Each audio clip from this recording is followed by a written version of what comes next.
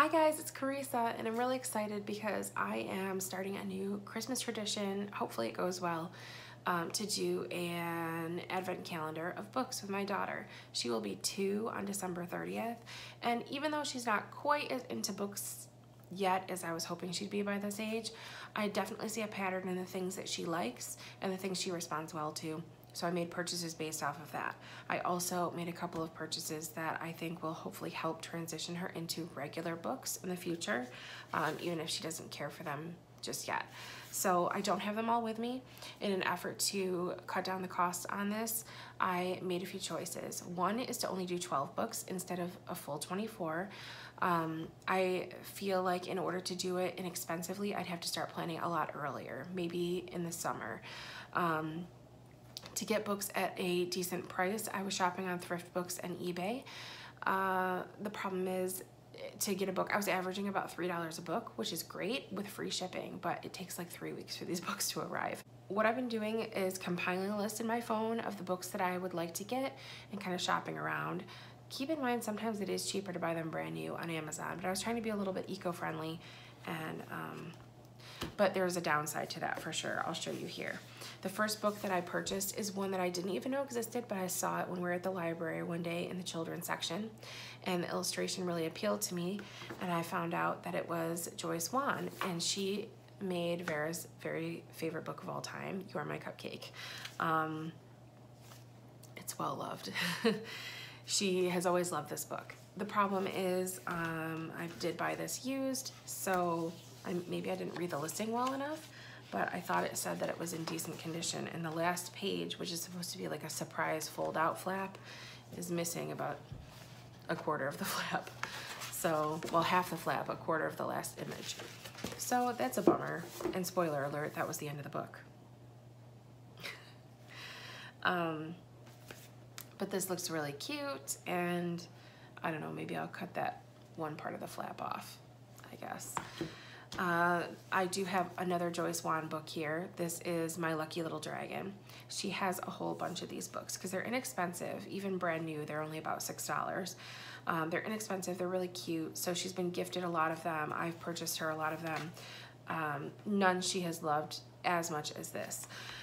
One thing that is a downside to the newer versions of these Joyce Wan books is that the illustrations are not embossed any longer. So you can see there's an embossing on this book and it just adds a nice extra sensory element. She likes to feel the page and see what parts of the page had raised um, sections to touch and they don't do that anymore. So this book doesn't have that but it does have a mirror on the last flap. Look at me spoiling all these books for you. This is used in not perfect condition, but I think this will help us transition into regular books is Llama Llama Red Pajama. She was actually given two Llama Llama books, hand-me-down books from her cousins. One is the Valentine book and one is the Christmas and she likes them okay. Uh, she really liked the Valentine book for a few weeks and then she got sick of it. Um, but I feel like this is a this is a staple. then I have this, which was a staple of my childhood. Not only golden books, but Richard Scarry books were a big deal in my family when I was a kid. I remember reading a lot of them at my grandmother's house. And this is the best little word book ever and she really enjoys, I have one here to show you as an example, she really loves these Priddy books. Um, it's Richard by Richard Priddy, P-R-I-D-D-Y. She really loves these. In fact, this one, she can go through every single page and identify every item on it. And I think it's just really good for her self-esteem. It makes her feel really good. And um, it's a very encouraging experience for her. So we have a ton of those books actually, and they just kind of recycle the same. It's a lot of the same pictures, but in a different order. So I thought maybe this would be a new way to, uh, to do that same kind of thing. Because you have all these items that are um, are labeled in the, in the, what am I trying to say? In the illustration, like this. So I'm looking forward to that. And if this is too old for her right now or she doesn't show interest now, I will put this with her other books that um, if this is too old for her or she doesn't have any interest quite yet, I'll just put it with her other um, non-board book books for now. This one was a little bit selfish on my part because I saw it at a toy store when we were shopping once and I thought, that's a gorgeous book and I kind of need it. um, so this is a story, uh, it's actually a poem, I believe, that my mother used to read us when we were kids because she loved it. She always really loved it.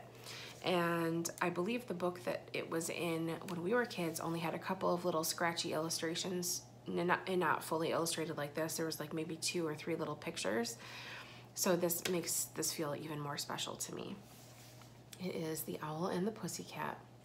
And it's beautiful and sort of whimsical and realistic at the same time. So I feel like it'll catch her attention, especially because there's a cat in it. She does love cats and dogs. And it's sort of, yeah, see, it's very um, appealing visually, I think. And it's a very cute little, sweet little poem. Then I have these, which, guys, I'm ashamed. I'm ashamed to admit. Um, I've seen these books before. I've seen them, my grocery store sells them. I've seen them in bookstores. And I never even gave them a chance because I just, well, basically I judged them by their cover. I judge these books straight up by their cover. Um, I didn't care for the colors or the illustrations and I just was like, and didn't think anything of them.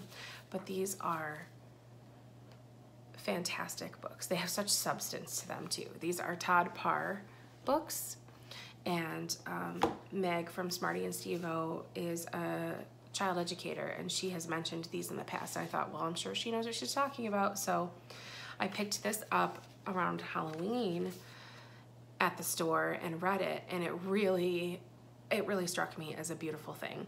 Not only is it interesting because of the illustration and there's a lot of little animals peppered into the pages so she likes to point out the animals on the on the different pictures but it it's very beautifully written as um, uh, how do I explain it the translation of real adult emotion um, that children have to learn about and understand emotions that they feel but don't understand and things just um, everyday things that you don't necessarily look at the same way because you're looking at them through adult eyes but they're translated so well into something that a child can understand without dumbing it down. Um, it's very cute it's very simple but it has a lot of meaning and heart and I just I love these books. So this is one that she already has and I ordered two for her advent calendar. This one I have called the Feelings Book. I did buy this used also, but this came in very good condition. And as we all know, toddlers experience a lot of feelings and don't fully understand them. So this will be helpful. And the other is appealing directly to two things she loves right now, which is counting and dogs. It is, I think it's called Doggy Kisses, one, two, three. So I'm eager to see that. I also purchased corduroy. I got that on sale on Black Friday on Target's website. It's not here yet. And um, Happy Birthday Mouse, which is the mouse from the If You Give a Mouse a Cookie series. She has not read that book yet. I cannot find that in a board book, and that's from back when I was a kid, so I don't know if there's a reason they don't do it. Maybe it's too long. I know they have a whole bunch of other animals and food groups and things. If you give a pig a pancake and a moose a knuckle, stuff like that. So if you buy it in a kit, um, I can I can get it that way in the future. But for now, she has something called the Best Mouse Cookie, which is a very short board book, but she seems to like it because it's about cookies and she likes to point out the mouse. It's a very, very short story. There's there's like six pages, I think. So um, this is a book about the mouse's birthday, and her birthday is just after Christmas, so it'll be kind of a nice thing to read about and talk about until then. Oh, and one other book, which was the last book I purchased used with free shipping, which is taking almost four weeks to arrive, is Harry the Dirty Dog. So that will be here someday. Um, so I don't have that to show you either. Now, part of the reason why I made such an effort to buy books um, used and at very reasonable prices is because I saw this and I really wanted to buy it, but I could only find it new and if you're not careful, you'll probably spend about $15 on this. If you want it badly enough, that's not that bad because it is a Mel Melissa and Doug product, but I happened to get it on Amazon for around $11 Amazon Prime, so that was free shipping. This is almost more of a toy than a book, so I'm bending the rules a little bit on this one. But this is the What Should I Wear removable doll dress up book. Crinkling, lift the flap, dress up cloth book. Now, this is something that she probably could have even had earlier than this. I think the age limit is a lot younger than, I remember seeing somewhere that you can use this with infants. Um, but I still think she'll really enjoy this and appreciate it, and I don't think she's too old for it. And basically, it's just a little doll that you can pick up and slide into a different outfit on each page for different scene and scenario. And I thought that was really, really sweet and special. And it's Melissa and Doug, so it's super cute and fancy. But that is it. I have one more book to pick out. The 12th book that I wanted to purchase, I'm so bummed out about. It was called Let's Find Momo. Um, and it's a really difficult book to find used because it turns out brand new, it falls apart on like the second time you read it even if you're the, just an adult holding it. Um, it sounds like it was really poorly made.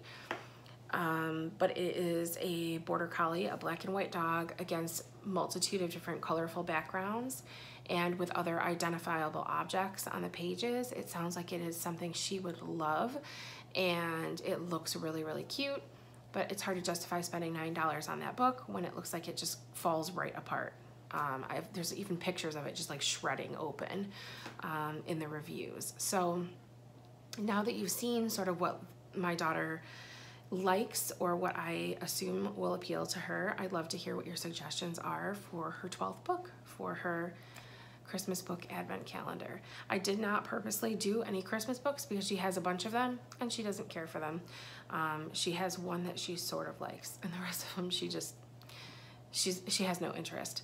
So maybe in the future we'll do Christmas themed books or specifically Christmas stories like The Night Before Christmas um, when she's a little older if this goes well. So it's very exciting. Let me know if you've done it before, if you have any um, expert advice or suggestions for me or anything that you would like me to know. Otherwise, thanks for taking a second to hang out with me and talk about these books. And if I don't somehow talk to you before then, I hope you have a very happy holiday. All right, guys.